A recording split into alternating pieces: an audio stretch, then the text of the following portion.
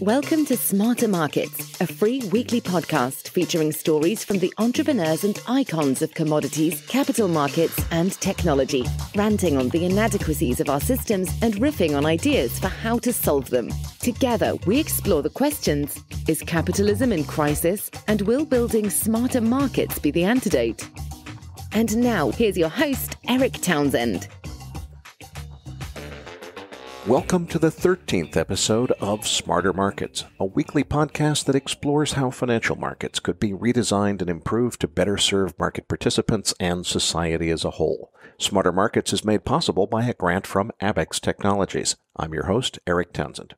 My guest this week will be SAP's Chief Innovation Officer and outspoken green energy proponent, Tom Raftery. Tom's job at SAP is to think about the future and also to manage the company's sustainability initiatives. We'll discuss the coming green energy revolution and what's needed to support the global economy with renewable energy resources, along with the societal and economic impact of this transition. My interview with Tom Raftery is coming up next. And now, with this week's special guest, here's your host, Erik Townsend.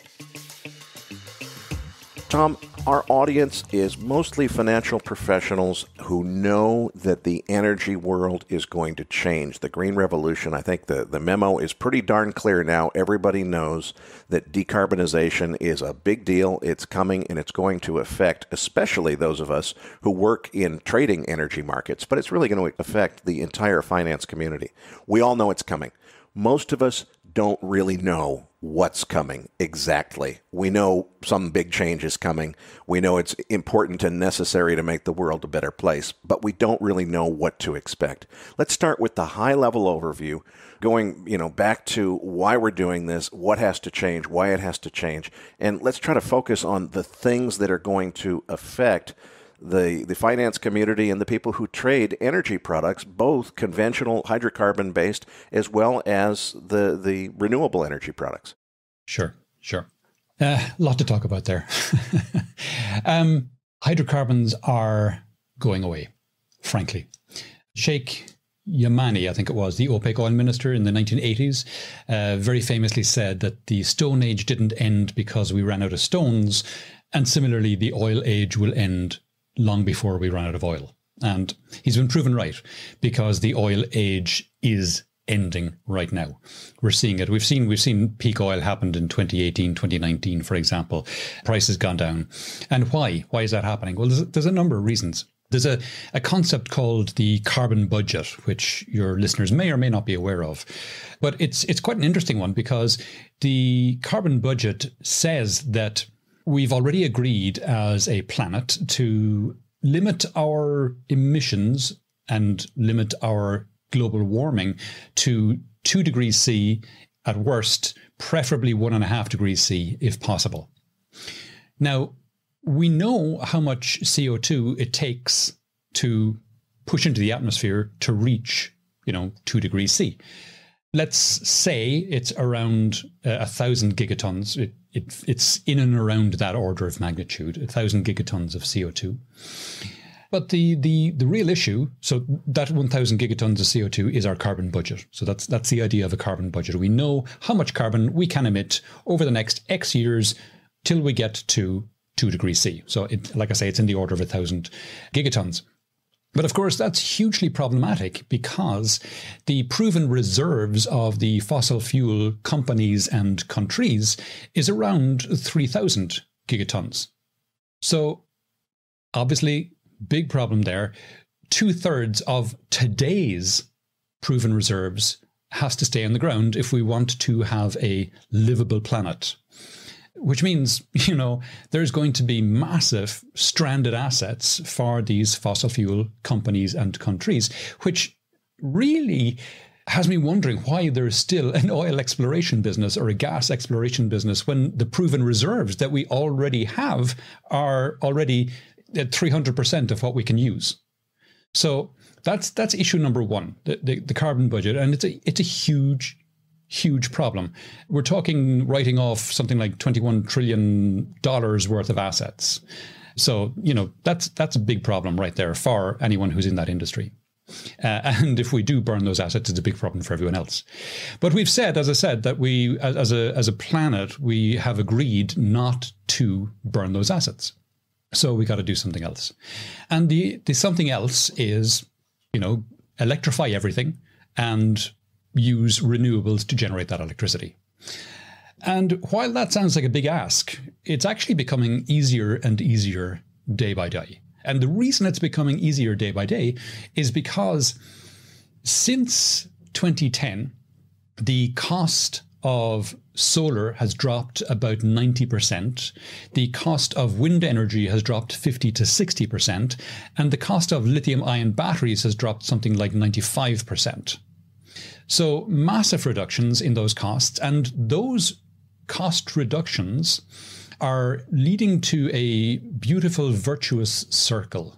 Because if you take the cost of solar, as I said, the cost of solar has dropped uh, something like 10 to 15% year on year for the last 10 years. And before that, it was still drop, or it was also dropping year on year, and it will continue to drop year on year. Uh, as I said, it's a, it's a lovely virtuous circle because as the price drops, it becomes more attractive to more people. More people purchase it. So you get economies of scale and what economists call the learning curve or the experience curve, which leads to lower costs, which means it becomes more attractive to more people, which means, you know, you get the idea. It keeps dropping, becoming more attractive to more people. It keeps dropping.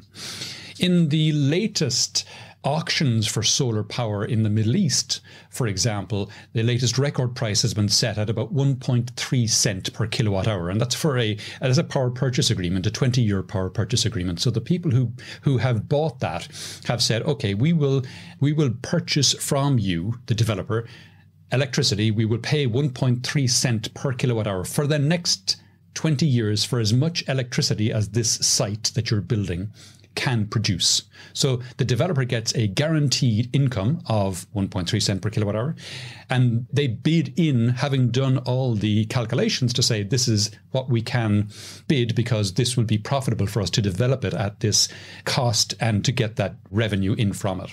So it's guaranteed income for them for the next 20 years. It's guaranteed pricing for the energy consumer, the energy purchaser, they're buying at a set price of 1.3 cent per kilowatt hour and getting guaranteed electricity at that price for 20 years. You know, purchasing oil or gas, you're, you've no guarantee of the of the of the price, not for 20 years certainly. Whereas with these kind of power purchase agreement auctions, you do, and the price keeps dropping. I was talking to executives from DEWA, for example, who are in that region, and they told me the cost for them of generating electricity by burning gas, and they generate 90% of their electricity in Dubai, or they did at the time when I spoke to them, from burning gas, was 9 cent per kilowatt hour. And in that region today, solar power purchase agreements are coming in at 1.3 cent per kilowatt hour. So right there you can see, and that, that price will continue to fall, by the way, and it, that that moves you know north away from the, the equator towards the, the northern latitudes as the price keeps dropping as we get more of the experience curve and the learning curve. So solar keeps dropping in price and gets cheaper every single year by about 10 to 15 percent, and that will continue again because of the learning curve and economies of scale. And it's not just solar wind as well. The International Energy Agency, in their 2020 report, said that, well, first of all, about solar, they said solar is now the cheapest form of electricity in the history of the planet. They also said that wind energy, and in fact, they, they mentioned offshore wind energy in particular. They said offshore wind energy today, looking at all of the potential sites that are all around the world for offshore wind. Offshore wind alone has the potential to generate 18 times today's current electricity demand, just offshore wind. So the International Energy Agency for, you know, decades has been incredibly conservative about renewables and suddenly this year their tone has started to change and they're starting to see that renewables are the path forward. And like I say, it's down to economics. If it were down to, you know, tree huggers saying, wouldn't it be great, let's go build lots of solar, then it wouldn't be sustainable because it wouldn't be financially sustainable. But because renewables are now coming in cheaper than fossil fuels. In fact, in, in an increasing number of regions now, it is cheaper to build a net new solar plant than it is to fuel, simply fuel an existing gas or coal plant. So you build net new and it's cheaper already. That's a huge problem for the fossil fuel industry. And now we're seeing NextEra, who NextEra are the largest electricity producer, generator, seller. I'm not sure what which, but they're the largest one in the US. And the CEO has said recently that the combination of renewables plus battery storage is now becoming cost competitive uh, and even cheaper than oil, gas, or coal. And of course, that's a massive problem as well, because the great thing about batteries, lithium ion storage, which is what he's talking about, is that the price of that has fallen 90% since 2010, 20, 2012 as well. In 20, what was it, 2012, it was $1,100 per kilowatt hour. The most recent report from Bloomberg New Energy Finance shows that in 2020, that $1,100 per kilowatt hour has now dropped to 135 dollars per kilowatt hour. So a 90% drop in the last 10 years. So incredible fall in price. And that again will continue for exactly the same reasons, the reasons of the huge increase in economies of scale and massive experience and learning curve. In their battery day in September, Elon Musk and Tesla said that they will drop the price of batteries another 50% by 2023. In fact, if I remember correctly, I think he said it was 56% by 2023. That's three years from now dropping at 50% in that time. And they are currently one of the, they're currently able to produce batteries cheaper than almost everybody else. So if they get it down to $50 per kilowatt hour, which is roughly what they're talking about, then you know that that's a massive game changer not just for tesla but for everybody else as well. Because when you start getting batteries at $50 per kilowatt hour then transportation is completely changed. It's already changing enormously because batteries are becoming cheaper. But it's it's it's not just for the transportation industry, but it's also for, as I talked about earlier, the likes of NextEra, the utilities, because suddenly they can start deploying massive battery plants, which they start they, they are starting to do, and it's starting to happen at scale. It started really for the first time in the last two, three years as batteries started to become competitive at utility scale. The first real big one was the Hornsdale Battery Reserve in South Australia, which went online I think it was late 2018, November 2018, it went online. And in the first year of operation, it made back $40 million, which for a development cost of $66 million means you're looking at an ROI of 18 months. So, you know, phenomenal. And in places where you get a huge penetration of renewables, places like you know Germany, parts of Australia, the UK, for example, you get to times when the wholesale price of electricity goes negative. And of course, if the wholesale price of electricity goes negative and you own a big battery plant, this is awesome because you get paid when ele- when electricity is negative you get paid to take in that electricity. And then when the price goes positive you get paid to to sell it back out again. So it's it's it's a complete win-win. So the the, the future of the hydrocarbon industry to your initial question it doesn't have a future it has zero future. It's it's going away. The question, you know, as I said, Sheikh Yamani got it right. The oil age is over. The question is really when. And you know, uh, my my job title includes futurist, as, as you mentioned in the intro.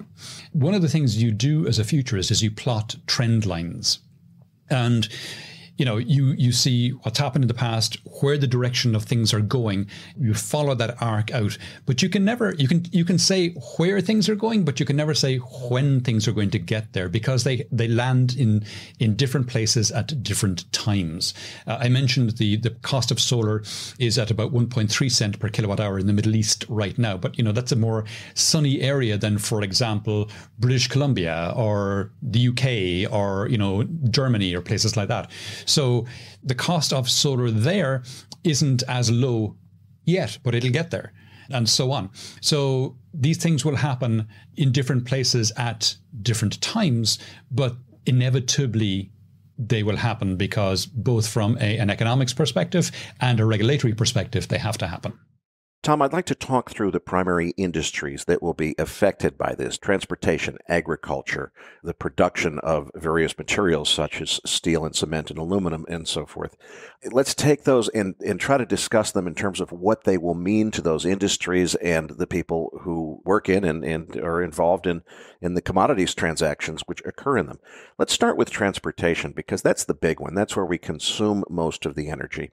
And if you go back just 10 years ago, a widely accepted argument that people would say, look, you've got this liquid fuel problem where as much as it would be wonderful if we could just go green and, and, renewables and it all sounds good. But the thing is, for transportation, you've got this energy density problem where you need to have liquid fuels to power vehicles because it'll never be practical, at least that was the view at the time, to use batteries to store sufficient energy to run vehicles. Well, then we got electric cars, and the argument was, well, okay, you can do that for a little Tesla Roadster, which only weighs a thousand pounds, but you'd never be able to do it for a truck that's actually carrying 80,000 pounds of freight down the highway, and especially if it has to drive up a hill to go, you know, to cross the Rocky Mountains. Never happened. Well, I don't think that's happened quite yet, but we certainly are seeing progress in that area.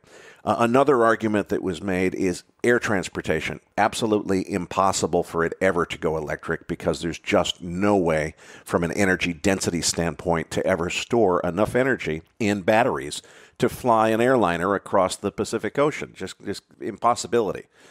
That was 10 years ago how many of those things are still impossibilities and how many of them have turned out to be possible after all? Yeah, good question. We are seeing a huge shift. I mentioned that the batteries had dropped you know, 90% cost in the last 10 years. So they went from $1,100 per kilowatt hour to about 130 uh, this year. And they will continue to fall. But what I didn't mention was not alone have the batteries got cheaper, but they've also massively increased their energy density. The energy density of those batteries is increasing at about 5 to 8% per annum and continues to increase. They've tripled energy density since 2010. So one great example I like to showcase with that is I, I, have a slide when I'm giving presentations on this of a vehicle called the Renault Zoe. I happen to use that because it's the best selling EV here in Europe. I also use it because I happen to have the numbers for that particular vehicle. And basically, the Renault Zoe small town car launched in 2012. So version 1 launched in 2012. It had a, a range when it launched of a 145 kilometers with a 22 kilowatt hour battery. You know, like I say, small town car, small range, it was 2012.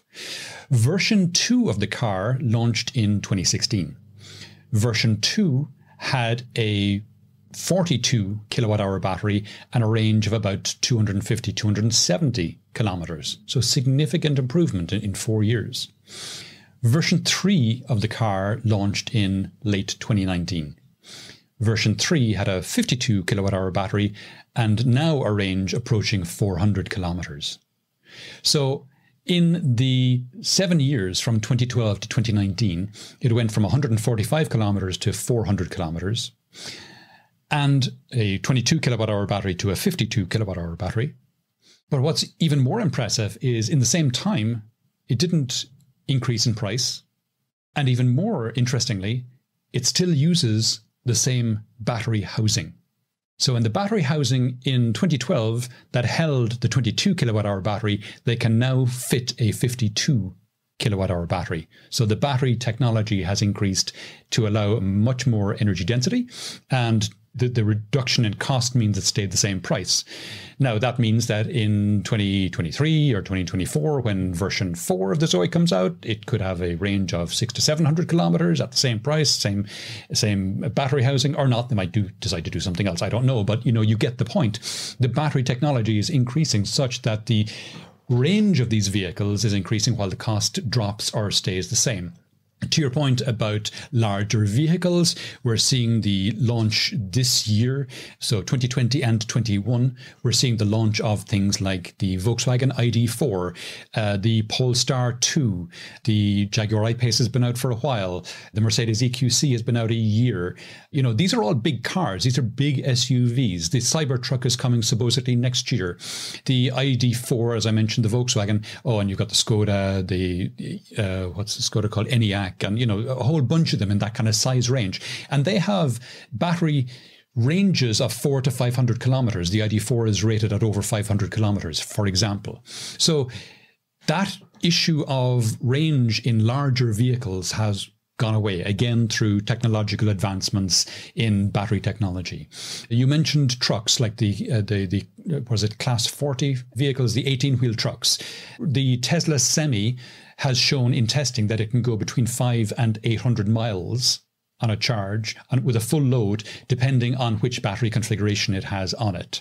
There's an issue there around the weight of the batteries, particularly in Europe and European regulations around weight, which might mean they might not be able to carry as many uh, or as much cargo.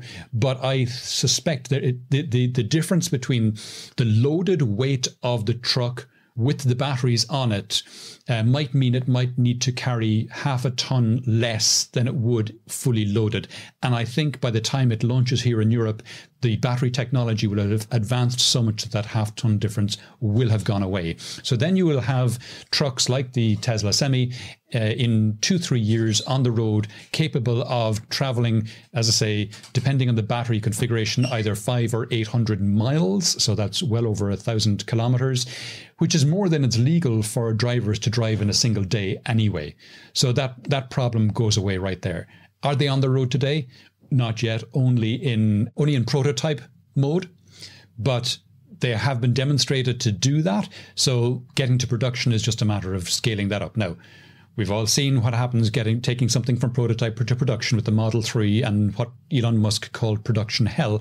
But Tesla are not the only person in that game either. We've also got all the other big truck makers in that space Daimler, Scania, Volvo. They're all at it and they will all get there. People are talking about a shift to hydrogen for trucks. I don't see it happening. I don't see it happening because technology in batteries is moving so fast that by the time they've developed a hydrogen truck, which is as good, the batteries will already be there.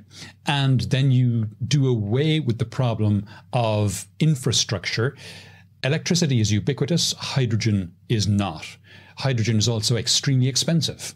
So to fill a hydrogen truck with hydrogen costs way more than filling an equivalent diesel truck with diesel, which costs way more than filling an equivalent electric truck with electrons. You know, so just in terms of the economics alone, battery trucks are going to be where the market moves to because they cost you know, to fuel a battery truck costs probably a third of what it would cost to fuel it with diesel, which probably costs, uh, let's say, 50% of what it costs to fill it with hydrogen. So, and that's just the fuel costs, the maintenance costs as well. Maintenance on an electric vehicle, according to Consumer Reports report, which came out in September this year, talking about EVs, they're about 50% of the cost of an internal combustion engine vehicle. So, you know, and maintenance is a massive factor in the in fleets. So any fleet manager is looking at getting the cost of fuel and maintenance. Those are the two big costs they're looking to hit on. And of course, with fuel being electrons much cheaper than diesel and maintenance being half the cost, fleets are going to flip to electric much, much faster than even passenger vehicles. Tom, let's talk about the infrastructure build out that's needed in order to make this a reality because clearly the electric vehicle revolution is gaining traction. It's got legs. This thing's going someplace. But look, uh, in almost all developed countries in the world, including the United States and Europe, you don't have sufficient electrical grid capacity to recharge you know, if everybody had one of these, right, right now it's it's like one or two percent of the population has an EV. Charging it doesn't matter. If we had even a ten percent adoption rate of EVs, the the electric grids would fall over and break. We need to upgrade them. How does that happen? And, and, I mean, that's a very expensive public infrastructure project. It seems like, fortunately, we kind of have a good economic backdrop and a political backdrop that wants to support big infrastructure projects. But there's a big, big capital investment that's needed to get the world ready to recharge all of these electric vehicles. How does that happen? That's a myth, frankly. That's not a, a concern at all. So the reason I say that is National Grid says it. So National Grid uh, in the UK have come out and well they they came out and said a couple of years ago when the UK government said we are going to outlaw the sale of internal combustion engine vehicles in 2040 they consulted with National Grid and National Grid said make it 2035 you know we don't see any problem with it so the UK government said, okay, we'll make it 2035. And then National Grid said, you can make it 2030 if you want. We don't see any problem with it. So there is zero problem. Uh, I have an EV. Why does why do so many uh, people uh, think that that is a major impediment to EV the, adoption? The, there are there are a lot of interested parties who don't want to see electric vehicles in the market. You can think of traditional automakers as number one. You can think of fossil fuel companies as number two. Both of them lose significant amounts of money if the world goes to electric vehicles. So you can see lots of inverted commas studies, close inverted commas, which show EVs to be a bad thing. But you actually talk to the people in the markets, the people like National Grid, they say not a problem. And as I say, I have an EV. We're a single car family. The only car we have is a fully electric car. I have a seven kilowatt charger on the wall in the front of my house. I also have a standard two pin plug. Now, Europe, we're 220 volts, but I have a standard two pin plug in the garage where I plug in the car, where I can plug in the car, which, where I do normally. And it's just a standard wall plug. You know, I have beside it, I have a fridge, you know, to, to keep beer cold. Uh, so it's exactly the same plug that I could plug a Hoover into or vacuum cleaner or any of these things. That's where I charge the car the majority of the time. And I charge it during the day, typically because I have a five kilowatt solar array on my roof. So I, I choose to charge it during the day when I can just pull electrons straight from the solar panels on the roof. I could charge it overnight if I wanted. The thing is, Erik, you got to understand, most people are not driving, you know, more than 100 kilometers a day.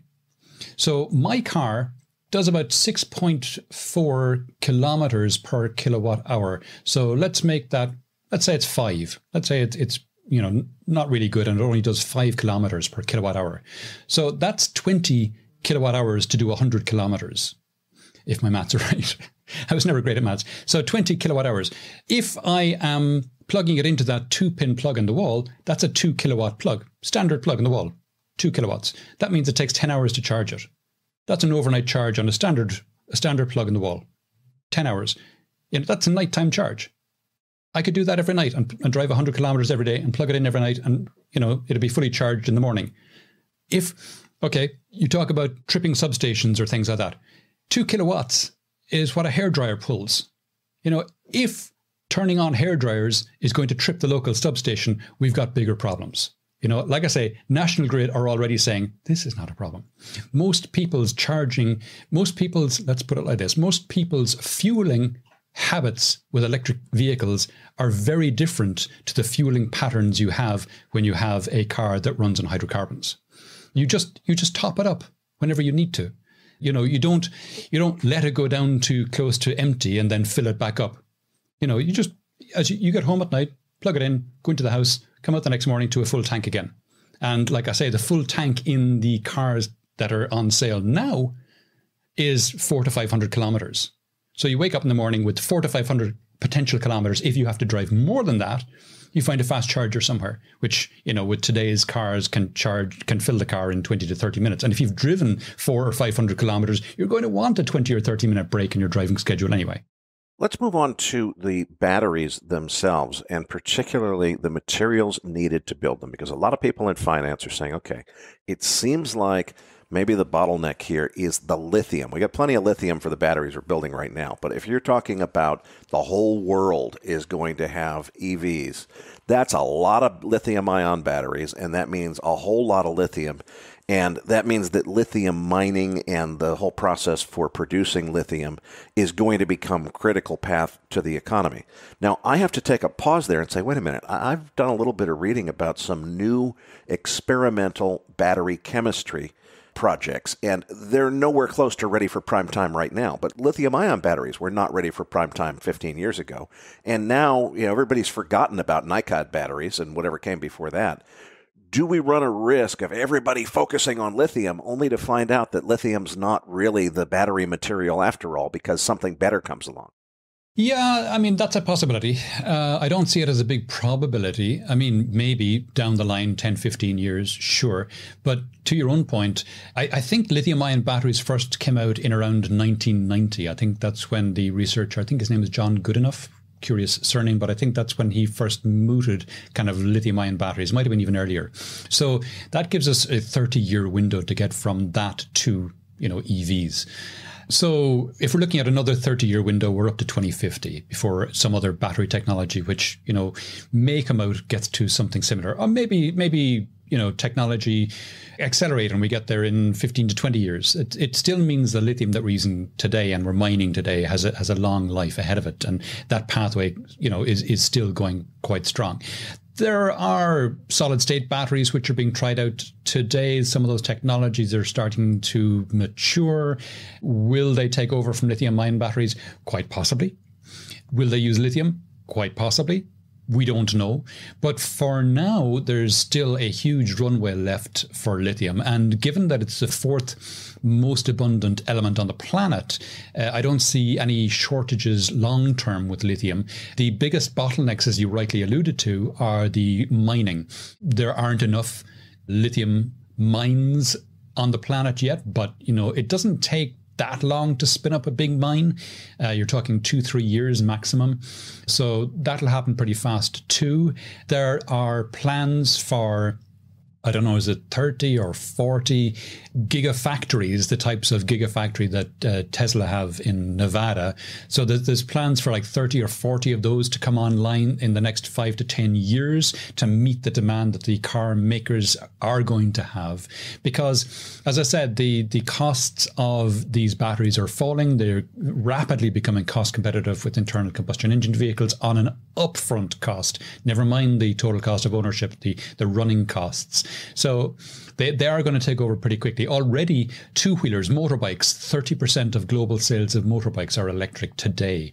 Buses are going electric even faster than passenger cars because, again, it's all around the economics of fueling and maintenance. And fleets of vehicles for, you know, company cars will go the same way for the same reason very quickly as well. And some of them are getting incentives as well. The benefit in kind tax in the UK went away in April of this year for electric cars. So, you know, suddenly electric cars became extremely popular in the UK. And, you know, things like that will happen along with the Green New Deal in Europe as well. It'll happen very fast.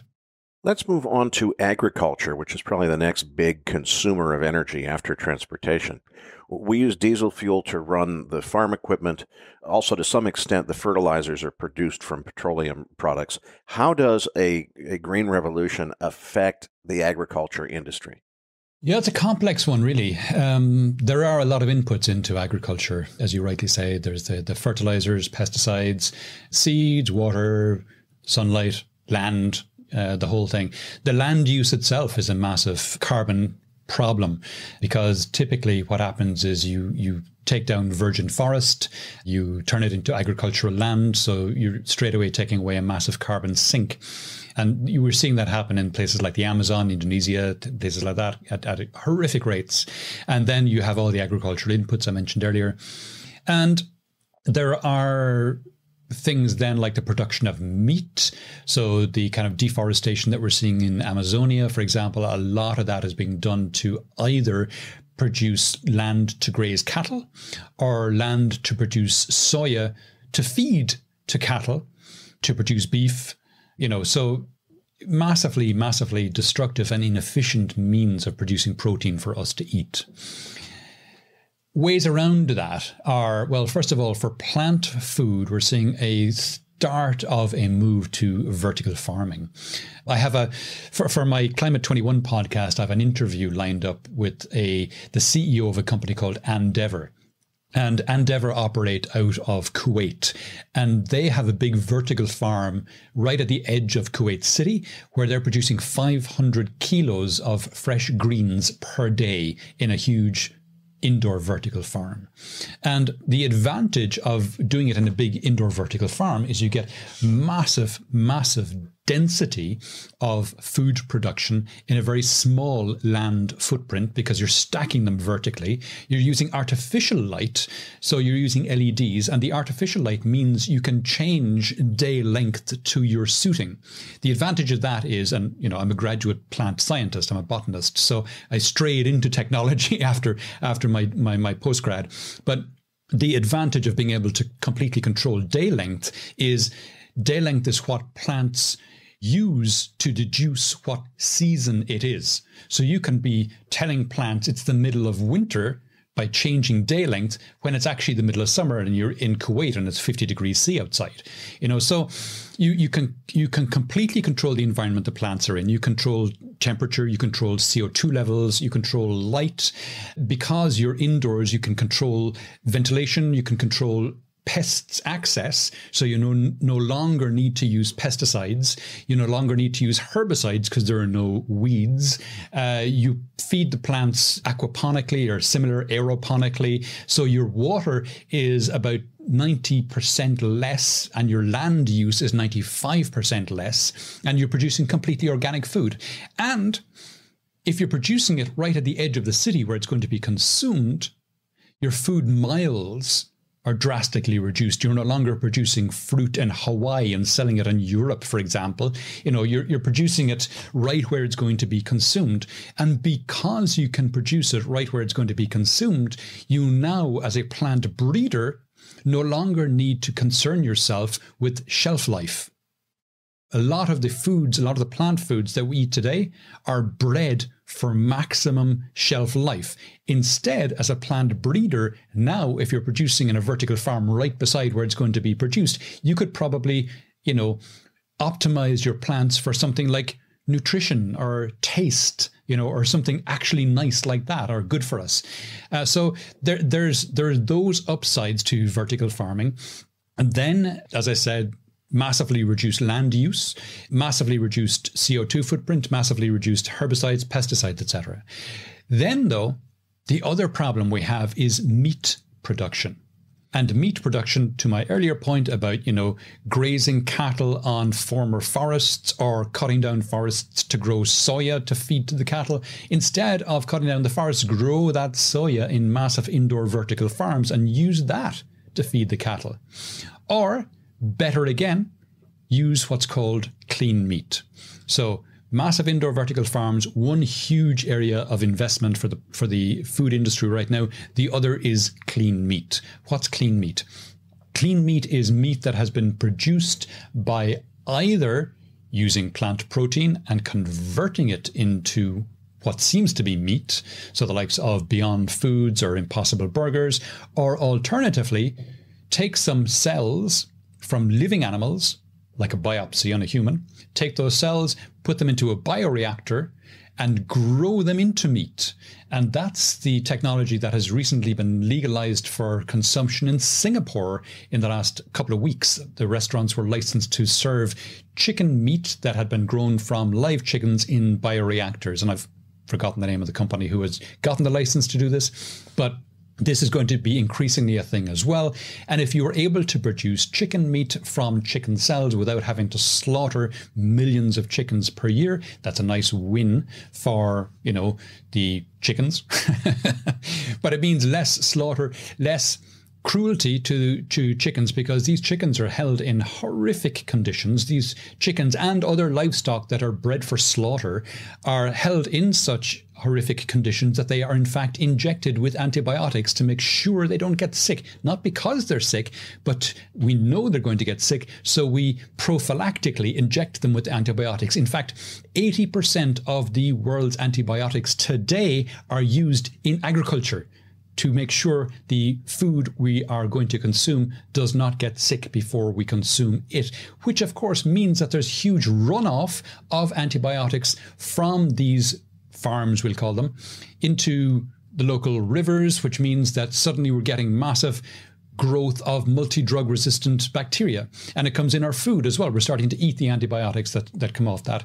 And it goes into the waterways and the fish start to develop resistance, you know, so it becomes a massive pollution problem. So we do away with all of that if we produce our meat in clean forms. And of course, if we're taking plant food that has especially been produced in massive indoor vertical farms and cut out the animal side of it altogether and just go straight to producing animal protein from plant protein, the likes of what Impossible Foods and Beyond Burger are doing, it's a far more efficient method of producing protein that we consume.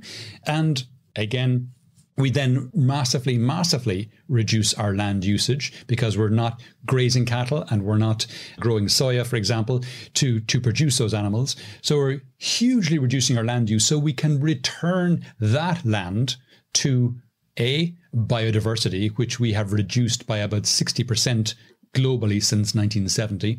And B, we can re- return it to reforestation. And of course, reforestation means that we can start to suck back out of the atmosphere a lot of the CO2 that we put in there by a, removing the forests in the first place, and B, pumping CO2 into the air from the tailpipes of the cars we drive and from agriculture and from, you know, to your area point, steel and iron, cement, aluminium.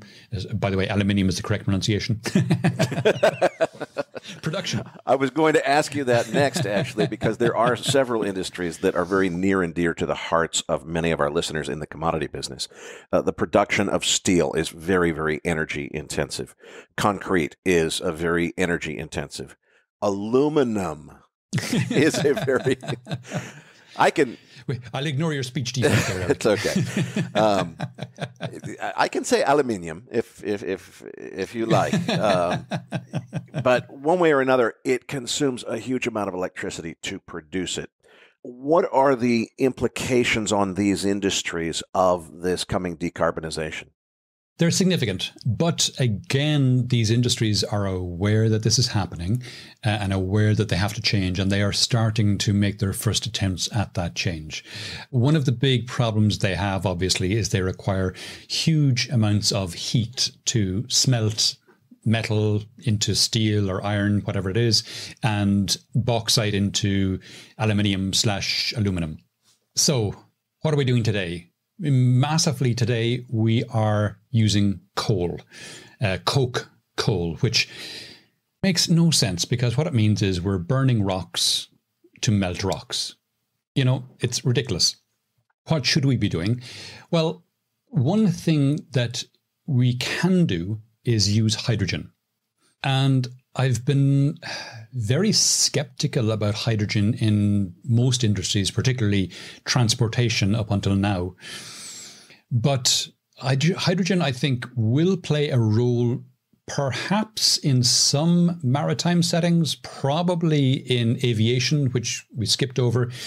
But big time, I think hydrogen will have a role in the likes of the smelting industries, the and and cement in producing high heat in industry. Now, the problem with hydrogen today is 95% of the world's hydrogen today is produced by steam fracturing methane. So if 95% of it is produced by fracturing what is a fossil fuel, well, then hydrogen today is a de facto fossil fuel. And that is obviously a big problem. But I did mention, obviously, earlier on that renewables cost keeps falling and it's falling 10 to 15% year on year on year, which means we're going to get to a point where the cost of electricity generation is close to zero. It's, it's like uh, the cost of taking a photograph. Back in the 90s and even the early 2000s, there was a definite cost to taking a photograph. You know, you had to buy a roll of film, and it had 12 or 18 or 24 or sometimes 36 photographs you could have on that roll of film you know and you loaded them into your camera and you were very careful to make sure you framed everything absolutely properly and then you took that picture and you took the next 11 or 17 or whatever it was, you brought them down to the local pharmacy or wherever to get them processed. You got them back a week or two later and you, you carefully went through those 18 or 24 or 36 pictures, looked to see how many of them actually came out. There was a huge cost to taking photographs. Today, there is zero cost to taking photographs. We all now walk around with thousands or tens of thousands of photographs on our phone. And that's going to happen to energy as well. The cost of energy is tending towards zero because, as I mentioned, today it's 1.3 cent per kilowatt hour in Saudi. Uh, that, as I say, that will work its way north as the cost of solar keeps dropping. So energy costs, the cost of generation of electricity is going to continue going closer. It'll never reach zero, obviously, but it'll keep getting closer and closer and closer to zero through solar and wind. And what do we do when we have you know, almost zero cost energy? Well, there's a number of things we can do. We can use it, for example, to desalinate seawater and use it to irrigate deserts and turn them back into productive agricultural land again. Or we can use it to create hydrogen by hydrolysis and then store that hydrogen in something like ammonia for transportation and use that as an energy source for the likes of steel, cement, aluminum slash aluminium. you know, so that I think is where hydrogen has a place to play. It's it, it's what's called green hydrogen because it's been produced by excess renewables. And we're already seeing, as I mentioned earlier, there are times when the cost of electricity on the wholesale market goes negative. So we are seeing times when we do have excesses of electricity from renewables already today. And in some places, what happens is instead of going negative, they just curtail the renewable generators, which makes no sense. What makes a lot more sense is to take the extra electricity they're generating and use it to create something useful, either use it to fill a battery or use it to create something that can be used subsequently, like hydrogen in this case. Let's talk about how the energy gets produced. Obviously, long term, it would be wonderful to say it's 100% renewables, it's wind, it's solar.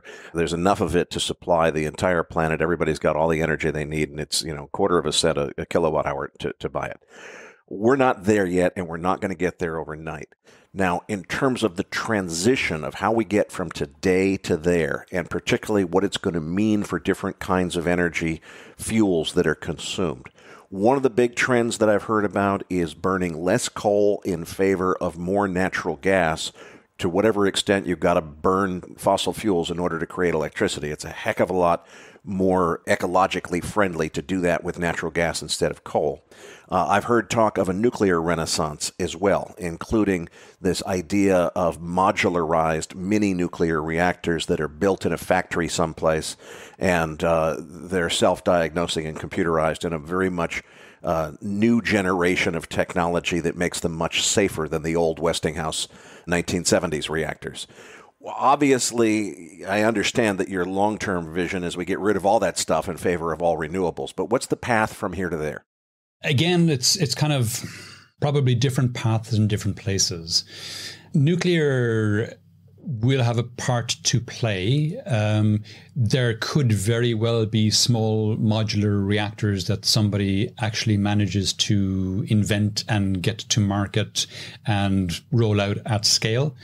Might happen, you know. Eh, it, it's one of those things that I like to call unicorn farts. You know, could well happen, could well smell gorgeous, but might never happen either. And right now, I don't see any, even in prototype, never mind in production. And will they get to production at scale if they do? If they do, you know, excellent. I, I have nothing against nuclear. In theory, what I do have against nuclear is in practice, it doesn't scale and it costs a fortune. So, what do I mean by it doesn't scale? Well, the largest offshore wind park in the world is being built, built in a place called the Dogger Bank off the coast of the UK today. It's a 3.6 gigawatt wind wind farm. It's being built with the GE Haliade X wind turbines, which are massive 12 megawatt wind turbines. As I say, it's being built. It's going to take two to three years to go from plans to actual production of electricity two to three years to go from plans to a 3.6 gigawatt wind farm. Now, there's another plant in the UK called Hinkley C. Hinkley C is a nuclear power plant, which has been on the drawing board for probably 10 to 15 years at this point. EDF are heavily involved in the production of it. The latest optimistic estimates say it will come online hopefully by 2030. It will be so far over budget. No one even has you know enough zeros on their calculator at this point to, to know how far over budget it has gone. Uh, it will come in at 3.5 gigawatts nameplate, so less than the wind farm. We're looking at somewhere between 20 and 30 years to go from drawing plans to online. So, you know, right there, you've got a huge, huge problem. We're seeing plans for 20 gigawatt solar farms in northern Australia, uh, 30 gigawatt combined solar and wind farms being built, actually 35 gigawatt solar and uh, wind farms being built in India. Uh, so you know, when you've got wind farms and solar plants that are, you know, 20 and 35 gigawatts, whereas a normal typical nuclear reactor is one gigawatt, a combined three and a half in Hinkley C is taking 20 to 30 years to build, then nuclear today has some serious issues. And I don't see a quick path to resolution for that. I'm sure lots of people are talking about building modular ones. I haven't seen any working one yet. Never mind production at scale.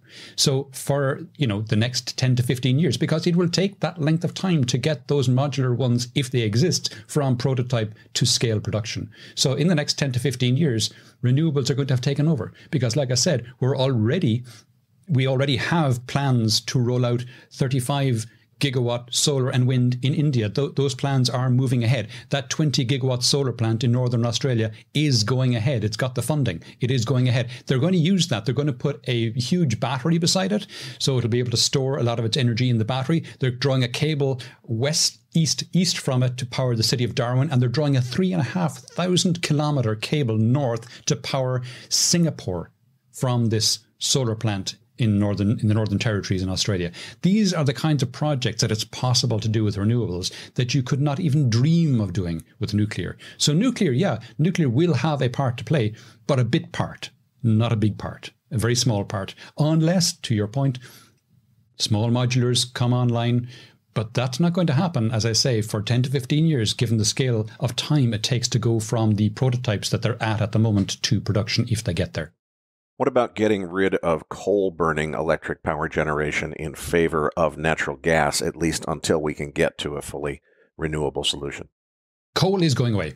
Uh, there's no doubt about that, and it's going away again, not for reasons of uh, you know tree huggers. It's going away for reasons of economics. Uh, it's going away in large part as well because the investment community are running a mile from coal.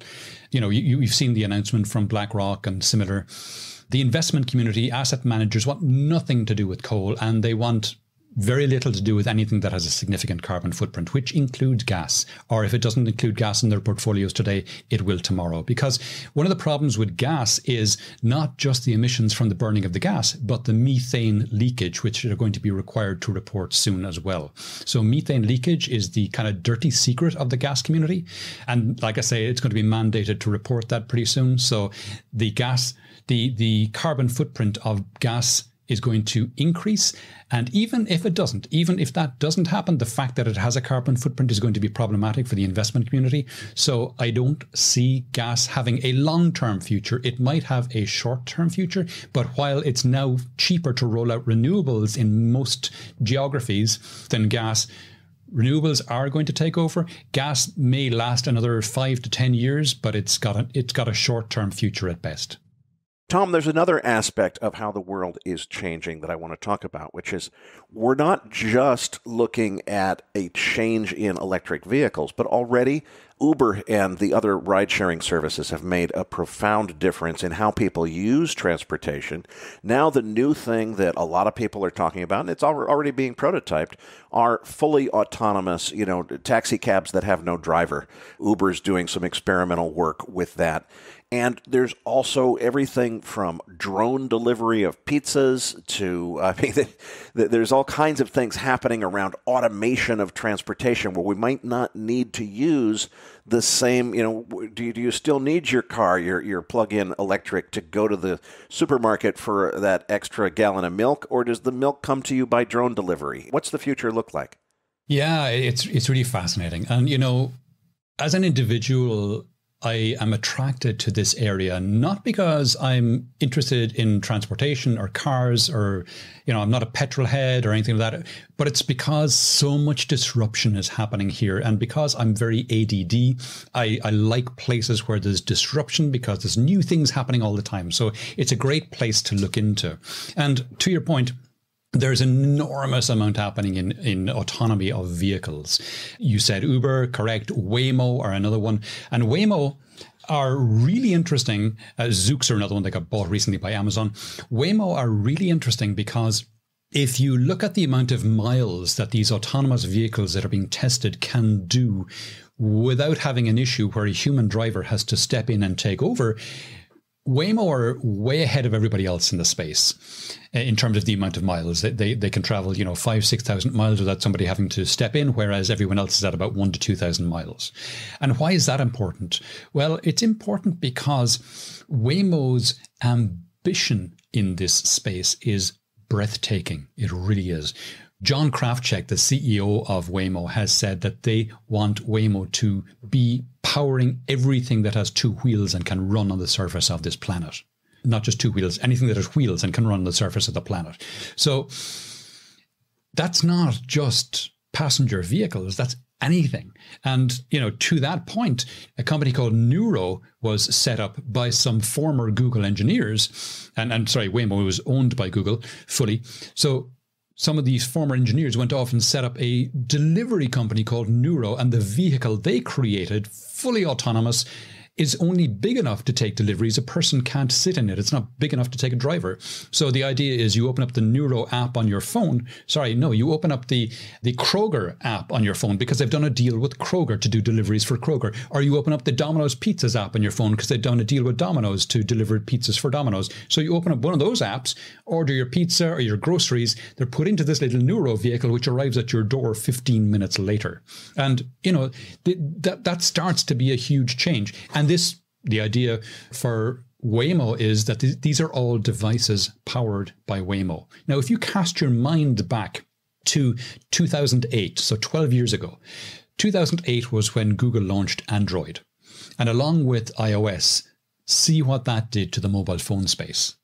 Now, think forward 10 years and think Waymo taking over and see the disruption that it's likely to do to the transportation space because they see Waymo as powering all transportation. So, like I said, the breadth of their ambition in this space is astounding. The, the cool thing about this space as well is there are a huge number, well, there aren't a huge number, there are several big business models out there.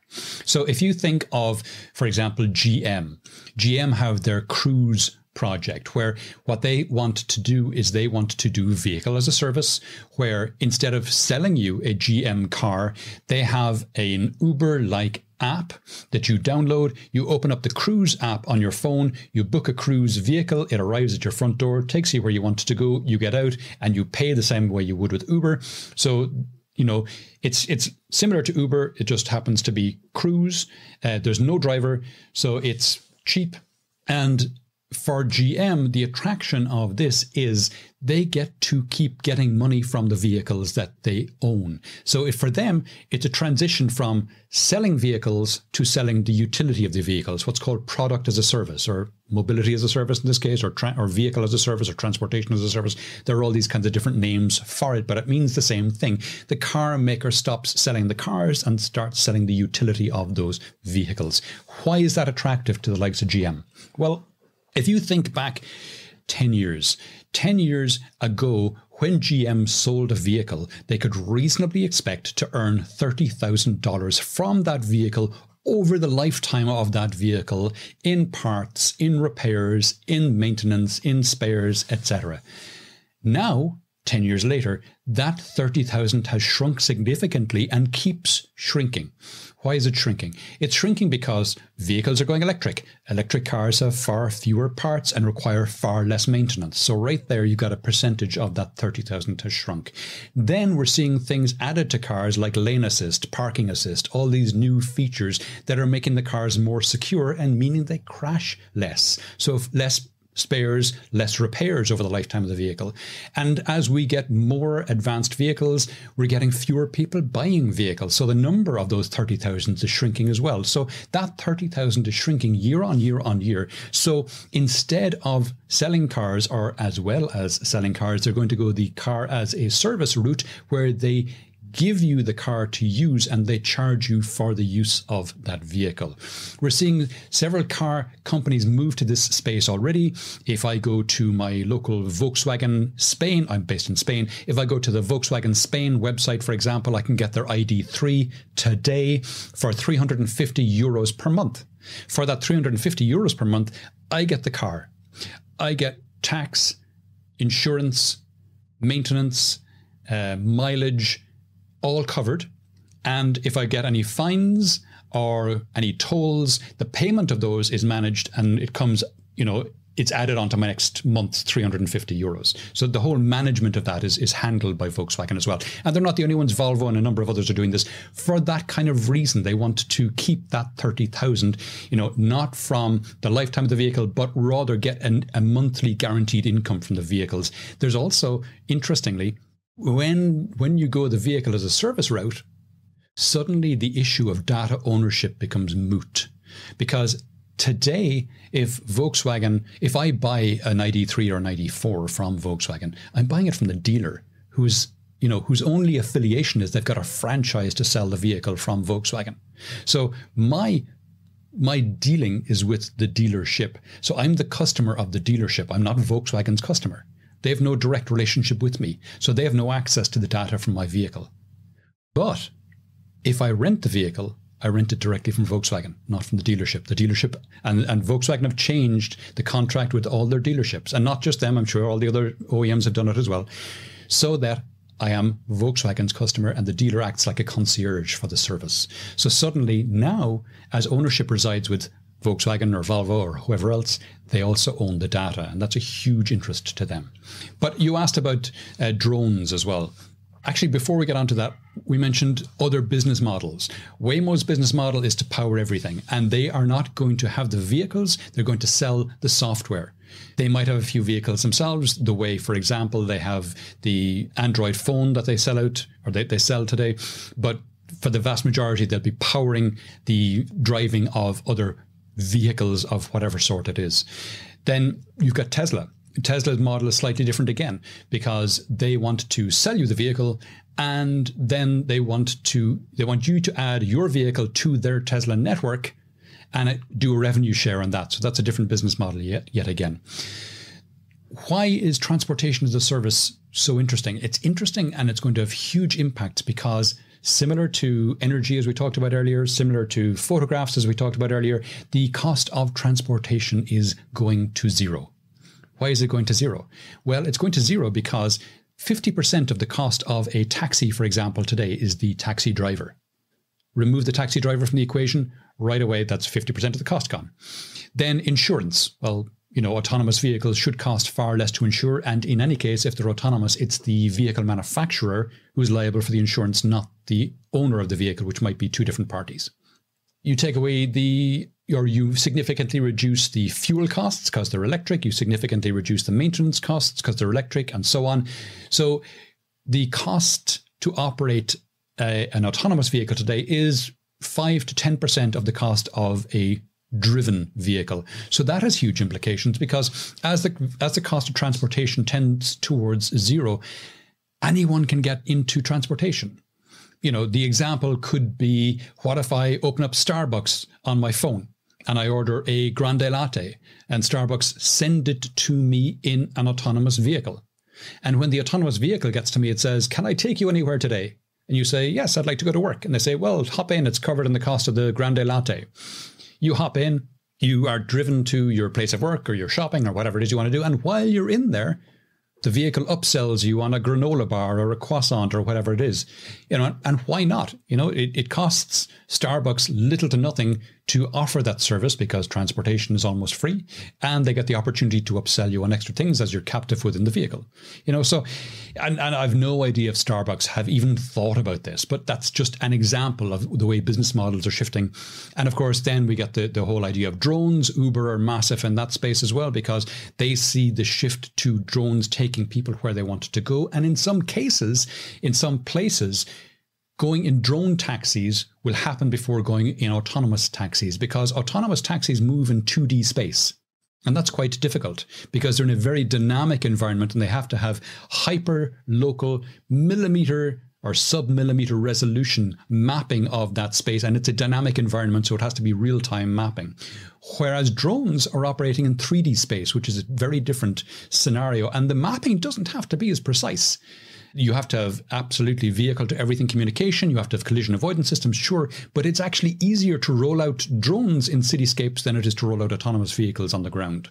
So I could see in many cities drone taxis happening before autonomous taxis. Boy, you just got the wheels turning. I can just imagine, Tom. You know, you, you get the, the, the notice on your phone that says, We're so sure that you want to buy the new five carat diamond for your wife for her anniversary, which is today. And we got that information by mining it from somebody who sold it to us. That we've anticipated you're going to want to come in with her to the showroom. So we've already sent the Uber Black limousine to your house. It's waiting outside. And now when your wife says, Tom, why is there a limousine outside? You've got to either explain yourself as to why you canceled it or put her in and bring her to look at the diamonds in our showroom. I can just see it. Or coming. the diamonds are in the limousine. They're they're it's there. A, it's a mobile diamond showroom. Yeah, the, the mobile showroom is is already at your door. And, and, and by the way, your wife is in the back of the car looking at it. She's asking for you. It's it's time for you to come out of the house and deal with this situation, Tom.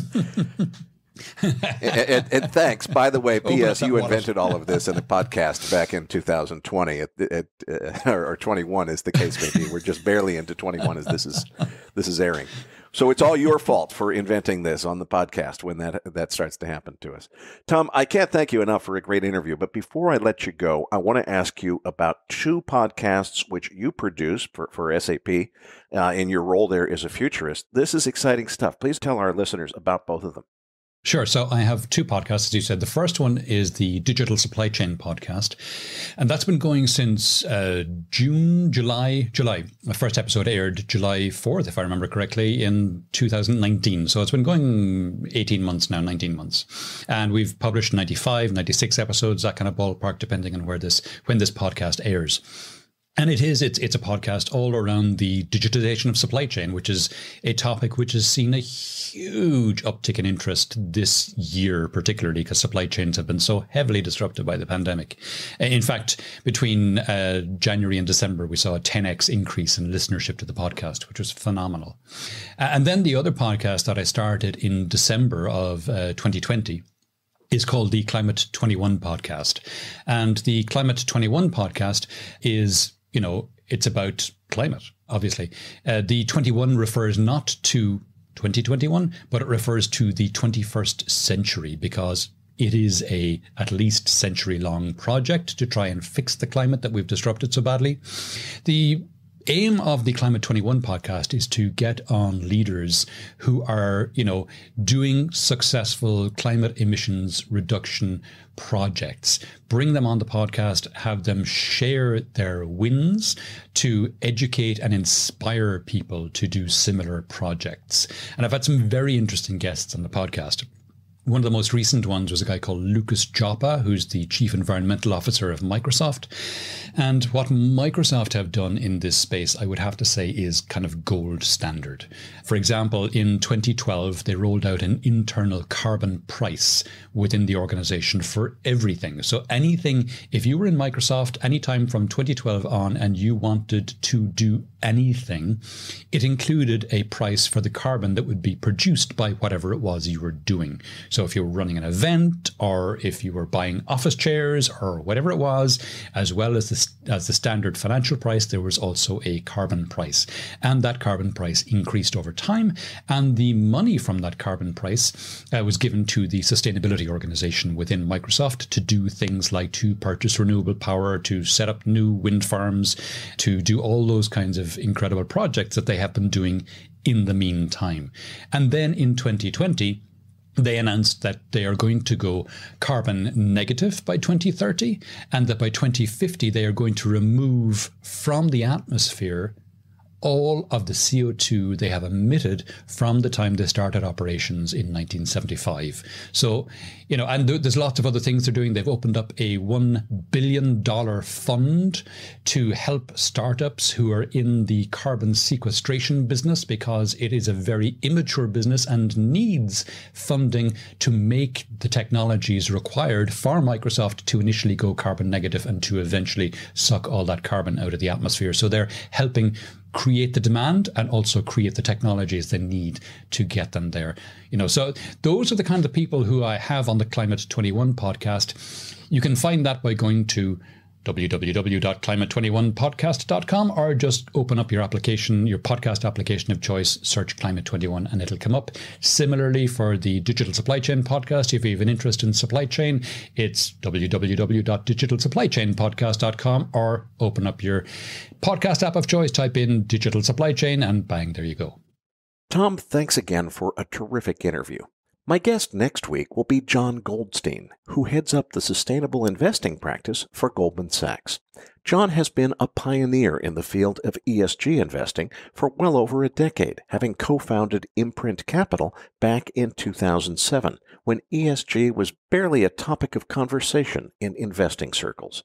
We'll discuss how John approaches ESG investing with a goal of having a direct impact and making the world a better place in the process. That's coming up next week on Smarter Markets.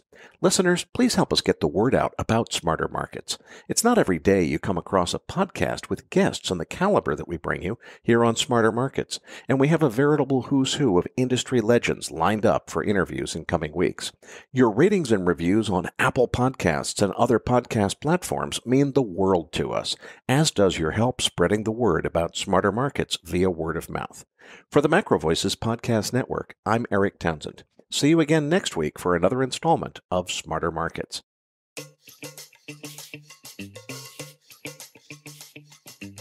That concludes this week's episode of Smarter Markets. For free episode transcripts, visit smartermarketspod.com. Smarter Markets is 100% listener driven, so please help more people discover the podcast by leaving a review on Apple Podcast or your favorite podcast platform. Smarter Markets is presented for informational and entertainment purposes only. The information presented on Smarter Markets should not be construed as investment advice. Always consult a licensed investment professional before making investment decisions. The views and opinions expressed on Smarter Markets are those of the participants and do not necessarily reflect those of the show's hosts or sponsors. Smarter Markets, its producers, sponsors, and hosts, Erik Townsend and Abaxx Technologies, shall not be liable for losses resulting from investment decisions based on information or viewpoints presented on Smarter Markets kids.